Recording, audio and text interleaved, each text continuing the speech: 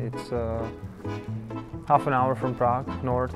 Uh, I spent my childhood there. You know, I still call it home. We built a house a couple years ago there. There's a car company, Skoda. The Skoda car factory at Mladá Boleslav, Czechoslovakia, one of the country's largest industrial complexes.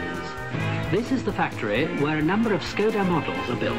You can always see it uh, during World uh, World Championships. That's the main sponsor for for that. Uh, for Tour de France, it's the main sponsor. So my city has uh, around 50,000 people, and most of them they work in that company. My brother David is two years younger than me. You know, I was always the, the smarter one, and you know, trying to to take care of him a little bit, but. Uh, no, it, was, it was great. Uh, you know, we always play together. You know, as I said, playing hockey, playing tennis, playing soccer in the summer. So Uh, it was always to have somebody to, to, to play with. And you know, I think we still have good relationships. We call each other pretty much every day during the season, and, and I think it's you know it's a good relationship.